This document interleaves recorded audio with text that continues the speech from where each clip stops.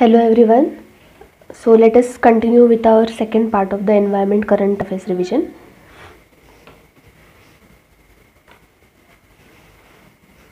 So we have seen the NGT and the reports.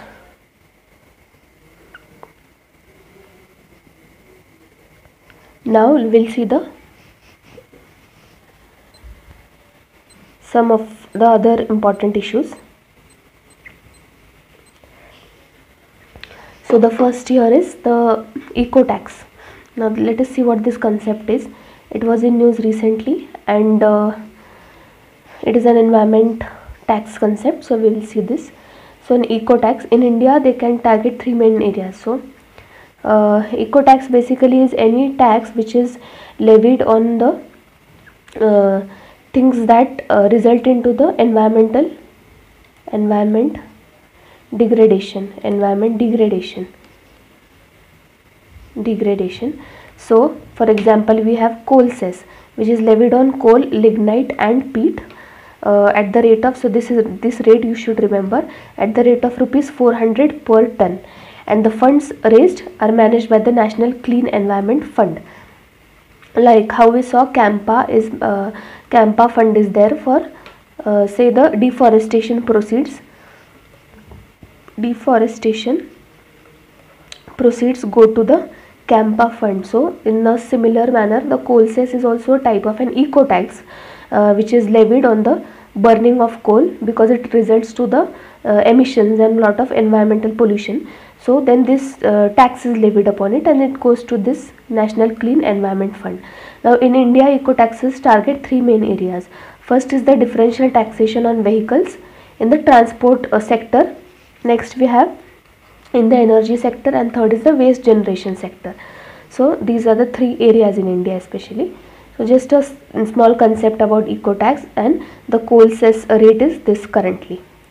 Then we have uh, in news since we are talking about fuels and all let us see about the ethanol blending program of india which is the 20% ethanol blending uh, now it has been advanced to 2025 so previously our target was by 2030 that sh we should be achieving 20% ethanol blending program. But now uh, the prime minister has advanced this date to or the year to 2025 we will be achieving that by 2025 only. So this was uh, a few months in news a few months back in news. So we will see more about it.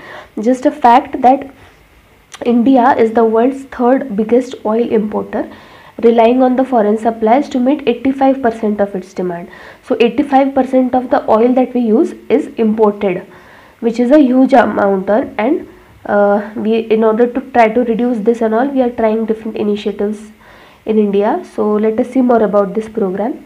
Now the ethanol blending program what does it seek to achieve or what is the purpose of it that uh, the blending of ethanol with motor spirit motor spirit with a view to reducing pollution so uh, and conserve foreign exchange uh, in turn because a lot of it is imported as we saw.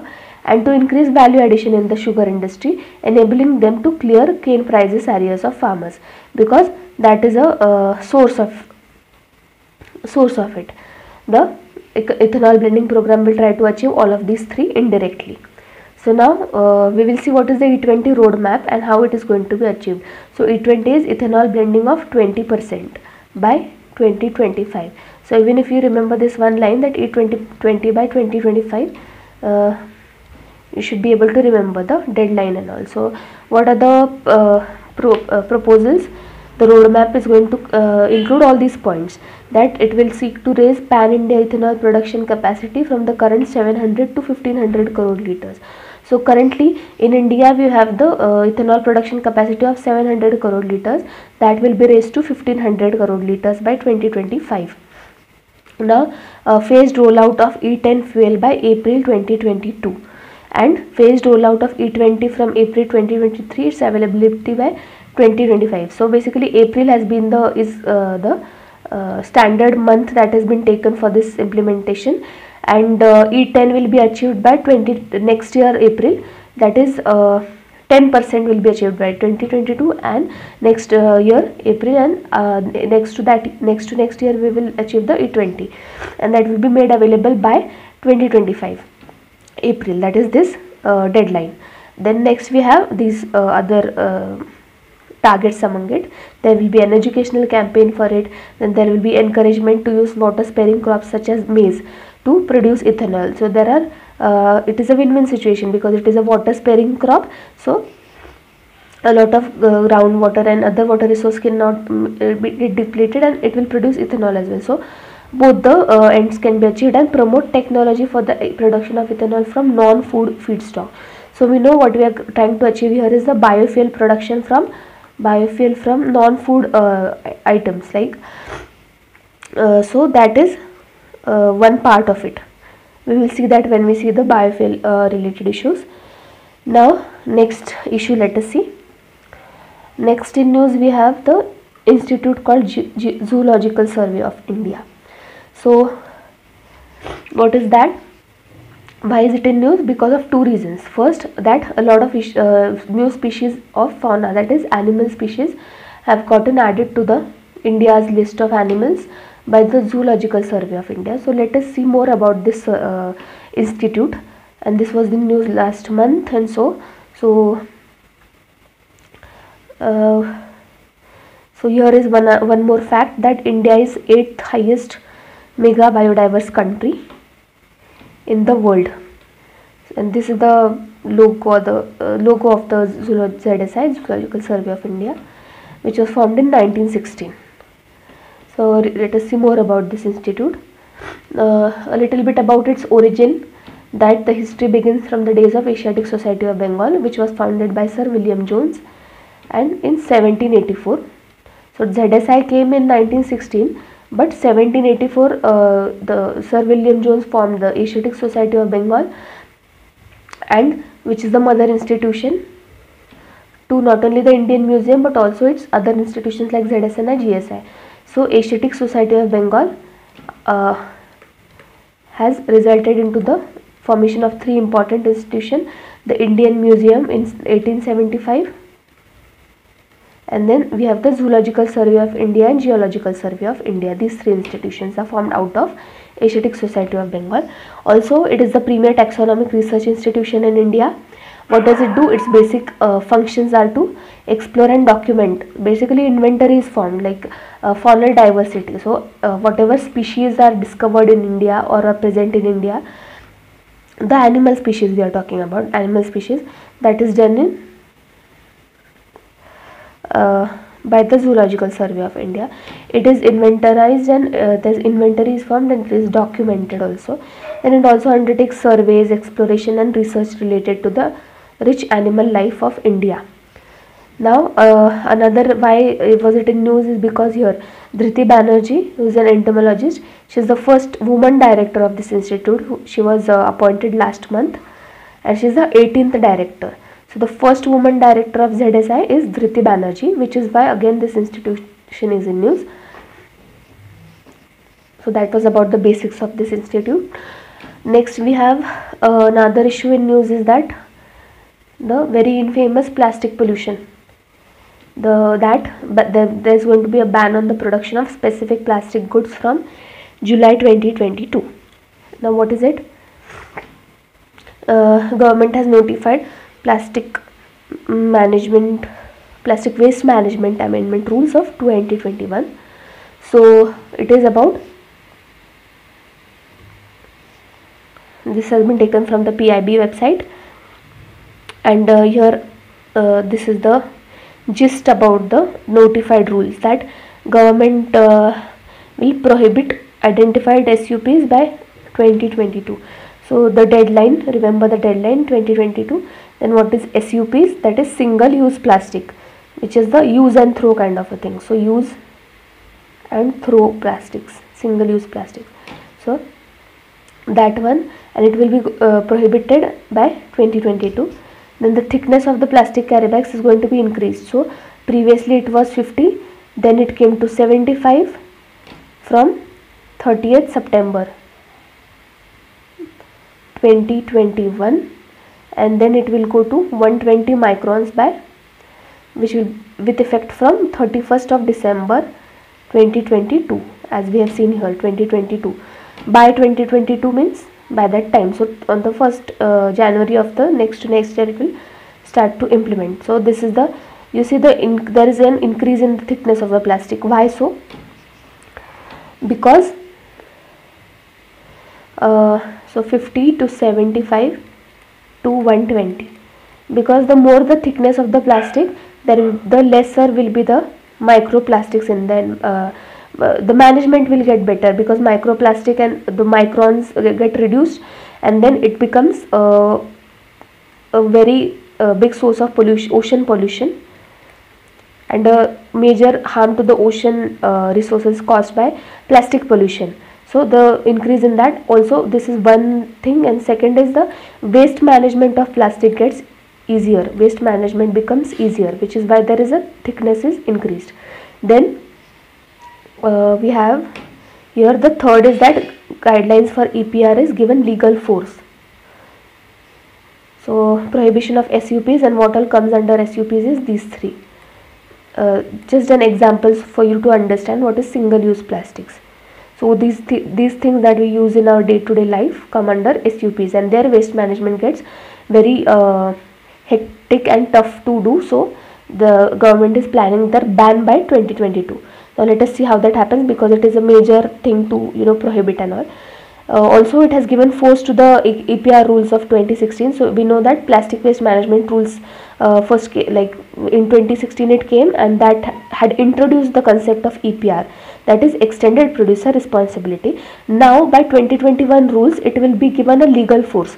That is it will come into force legally through these rules. Then it was just conceptualized. Now it has been given uh, the legal force. Now what is EPR let us see. EPR is extended producer responsibility and it is related to plastic waste management rules. Uh, this is a uh, this statement sometimes they may ask that the term EPR or the extended producer responsibility is related to which of the following uh, waste uh, management or pollution? So it is related to plastic pollution firstly. Then what is it? That it uh, uh, puts the responsibility on the producer itself so suppose uh, there's a producer who creates a uh, plastic or produces some plastic item. So he will have the responsibility right from the production it to post consumption post consumption of it. Which means that after the consumer has uh, uh, consumed it after he he can like collect it and then it will be put to like uh, recycling and all of that. So producer has been given the responsibility right from manufacturing to post consumption stage of collecting and all. So that is the in very simple terms the extended producer responsibility. So producer will have as the name itself suggests that the producer will have an extended responsibility towards the plastic uh, management waste management. So that was about it. Next uh, term let us see what is ecocide. So just uh, now as we know that internationally some of the crimes are recognized uh, which are some international crimes. Like we have genocide. Genocide is the international crime. Then we have uh, like war crimes and all of that uh, come under it. Then the nuclear or you know chemical uh, chemical warfare all of these are worldwide recognized. Now ecocide side is side basically means killing right? And eco is a ecological. So why was the this news? Because france has approved the ecocide offense so the latest country to approve ecocide offense is France. This was in news a few months ago. Now the very ambitious punishment uh, is there in, in, this by France that it will be liable they will be liable up to 10 years in prison and the fine of 4.5 million euros that's a very very strict uh, punishment but uh, the ecocide concept is that the destruction of natural environment by deliberate or negligent human action. So human actions of consumption and production production and consumption and all this uh, has resulted into a lot of environment destruction deliberately or by negligent ways. So now that will that is termed as ecocide. And the latest country who has uh, said that it's an offense or punishable by law is france in their country they have applied it. Now the next is the very famous paris agreement. Let us see more about it. Why was it in news recently? Because united nations has given a code red warning about it that global warming is going to blow past the paris limit. Now we'll see more about the basics about the paris agreement. Code red warning is a very uh, dangerous uh, sign which means that the united nations has said that uh, the paris limit is uh, going to not be fulfilled and not just that it's a code red warning that the temperatures are going to go beyond our limiting capabilities or capacities. So the paris agreement let us see more about the paris agreement. Now it is a legally binding agreement. Very important. It is a legally uh, binding international treaty on climate change and it was adopted by 196 parties at the Conference of Parties 21 in Paris which was held in on 12th December 2015 and it entered into force on 4th November 2016. So these dates and facts you should remember. Then its goal is important that its goal is to limit the global warming to well below 2 degrees Celsius preferably 1.5 degrees Celsius. So 1.5 2 so what we are trying to do is uh, and what does it compare to compared to the pre-industrial levels so whatever the pre-industrial levels of temperature global temperatures were we have uh, global warming uh, temperatures were the limit of that. What we are trying to do through paris agreement is that we will be trying to bring it well below 2 degrees celsius and preferably 1.5 degrees celsius less than that compared to that. So that is the ambitious target uh, of the paris agreement. Now it is a landmark because why? For the first very time see it is the first very time that a binding agreement as we saw here it is a legally binding agreement. So a binding agreement which relates to the climate change has been put in force. So all the nations who have signed to it all the 196 countries who have signed it will be legally bound, uh, bounded by it. Legally bounded by it. Now it's a different thing that the United States acts on its own uh, terms and conditions and it's they act like here and there about it. But uh, it is a legally bounded agreement and the Paris agreement is landmark for it. The it is the first climate change agreement first climate change agreement which is legally binding which makes it important. Now by 2020 countries will need to submit their own NDCs so firstly NDC concept is related to which agreement? Paris agreement and what it is that nationally determined contribution.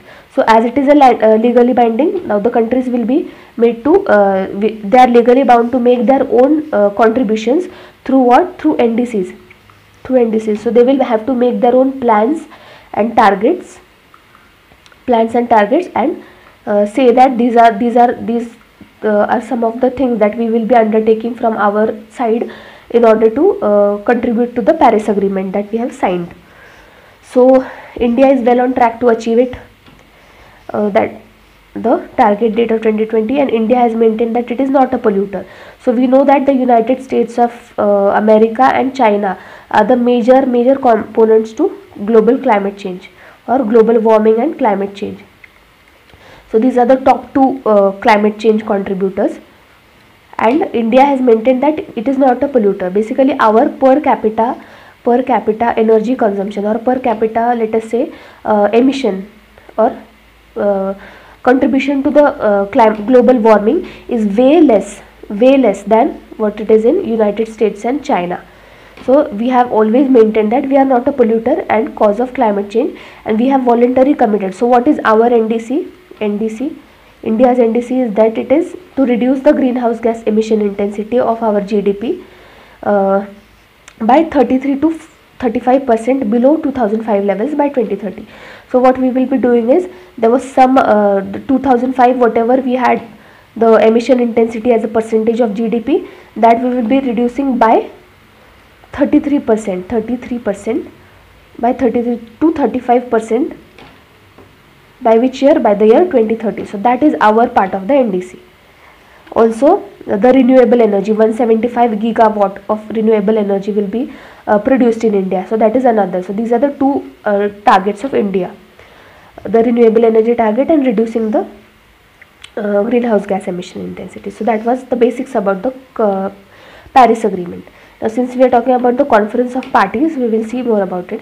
So basically it is that the, every year United Nations holds a global climate change conference which is called as the conference of parties and this year it will be COP 26 that is the 26th anniversary. So it is called COP 26 with United Kingdom as the president. So this year UK is the president of conference of parties which is the United Nations global climate change conference. Now uh, let us see about permafrost. What is permafrost? It is the the definition is that any ground that remains completely okay completely frozen completely frozen for at least 2 years straight. So this is the time period to uh, for which it has to remain completely frozen. Not partially but completely frozen for 2 years straight or more. More than or equal to 2 years straight. So uh, which uh, what does it relate to? It relates to the two poles the arctic and the antarctic and then we have himalayas. Uh, himalayas are also called as the third pole third pole on earth. Because it the mountains the himalayas remain completely frozen like snow covered completely snow or ice covered. Ice covered. Now why was this in news? Because of the thawing permafrost a very major threat to the climate change and arctic fires. So this uh, is important from your main perspective as well but what the thawing permafrost means is that this ice that remains completely frozen or which is supposed to remain completely frozen by the virtue of which it is called as the permafrost in the first place. Now that is thawing that is it is melting and all.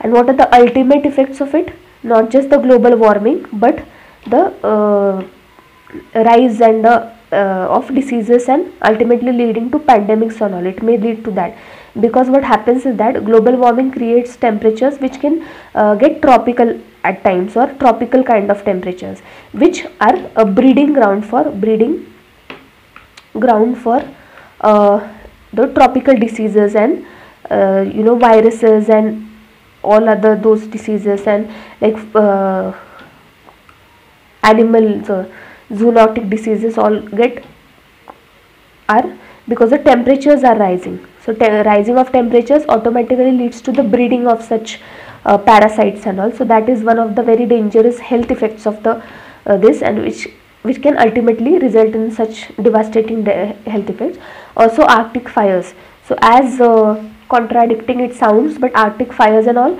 uh, is a major threat to the because of the thawing permafrost. So this was another uh, important concept in climate change. Now the next in news we have the that hundreds of lakes in the United States and Europe are losing oxygen. This is the recent study. In some uh, in the previous months they came out with this study that hundreds of lakes in United States and Europe are losing oxygen. Now uh, it is important to remember some of the important lakes and the Great Lakes of, Lakes of America and some lakes in Europe. We will see that when we see the world maps and the places in news. But uh, this is a science or environment related issue. So we've covered this here. Uh, because in one of the previous years they had asked the question like which of the lakes are shrinking and all. So they may ask uh, place related question from this. Also you can quote this in your answers or case studies in mains. So that was it. Now let us see what is the another issue of dolphin boom in Odisha Chilika Lake. So which is a positive news for the environment. Now uh, let us see about Chilika Lake more. Let us see what is Chilika Lake. This is the Asia's largest brackish water lagoon. It is in Odisha here uh, on the river Daya, mouth of river Daya. We know that the east flowing rivers form uh, deltas and all. So mouth of the river Daya, we have backwaters or the lagoons are formed and this is the largest brackish water lagoon not just in India but also in Asia and it is the largest lagoon in India but this and the second largest in the world which is the first the New Caledonia lagoon. So now uh, it was declared as the Ramsar site uh, in 1981 so remember this. Also it is the first water body in India to be designated as a wetland of international importance under the Ramsar Convention. This is also important fact about it. Also it is the largest wintering ground for migratory birds on Indian subcontinent. It is under the Montreux record. What is this record? Let us see the basics of it. The Montreux record is uh, something that the Ramsar Convention itself has. Ramsar Convention uh, it has its own set of say like a separate register of books you can call it and what does it contain it contains all those sites or all those places which are where or rather where there is a ecological uh, changes are very prevalent. Changes are ecological changes are prevalent. Prevalent. And the it is rapid in nature and it is causing a lot of uh, ecological changes in that particular habitat for the species in there. So they they need special protection right? So basically Montreux record comes under the Ramsar convention. Special special conservation is needed. Conservation. So this is important which is why the Montreux record is the special uh, list of uh, list included in the Ramsar convention of sites. Now in news is the yellow wattle lapwing. This is just to uh, give you a or uh, species in news but uh, the habitats are important. And what it is that where was it found? It is found in Chennai. But why is this particular species important this year? Is because the yellow wattle lapwing so it basically looks like it's like a bird which like a duck and all it looks has long legs and it is black in color but a special yellow light yellow wings it has so you, you can go and look the look at the uh, picture of this bird so that you will be able to remember it better. So it has yellow wattle lapwing the wings are light yellow in color and all. This is endemic to the indian subcontinent. Okay so this is again important that it is endemic to indian subcontinent which is why it is important in Indian context. And it's uh, the news was that it is rarely rarely seen in uh, Chennai nowadays. So uh, it is mainly found in the dry uh, plains of the peninsular India. So the peninsular India dry plains in Chennai and all it is found. So it is the what is the IUCN status of it? That it is least concerned. LC is the least concerned. But why in news and why is it is important because it is rarely seen now. And for any particular species to go from least concerned to something which is rarely seen is a major cause of concern because then now it will directly jump back and it is a ma major step backwards. Why? Because we know that the IUCN list has like endangered you have vulnerable critically endangered here you have extinct and then this is the uh, threatened category. Threatened. And then you have here the uh, like it goes to least concern right? So this is the very uh, we don't need we are not needed to worry much about these ones these the species which come under least concern. Uh, but ext uh, to extend so this is the IUCN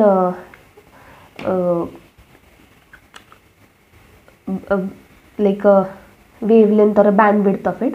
Now this species has gone from least co uh, concern to not being seen. So now it there is a, a, huge possibility that it may go from least concern to direct the th threatened category because it is rarely seen. So it is a huge step backward and which is why this species is important. Also it is endemic to india. So remember its IUCN status where is it found? That is what is the habitat of it? And all this. So that was the news. Next we have turtle conservation in news. So indian biologist has won the global award which is the Behler turtle conservation award. So remember this name that the Behler award is conservation award is given uh, for the conservation of which species? The turtle species. And who has gotten it? Indian biologist this year.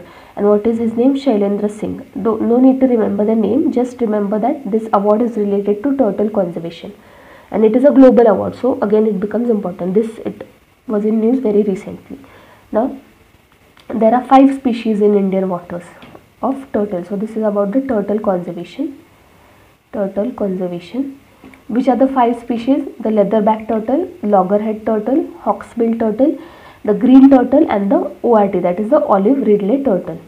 These are the five species of indian tur uh, turtles found in indian waters now in India, the turtles are protected under the Schedule 1 of the Indian uh, Wildlife uh, Protection Act, despite which they are facing threats.